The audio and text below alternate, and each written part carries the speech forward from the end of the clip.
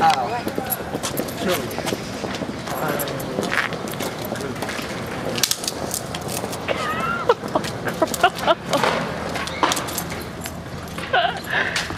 was Oh, man. me. Go Mike Tyson on bite your ear off.